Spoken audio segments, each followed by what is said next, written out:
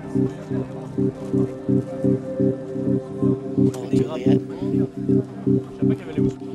I will lie with thee tonight.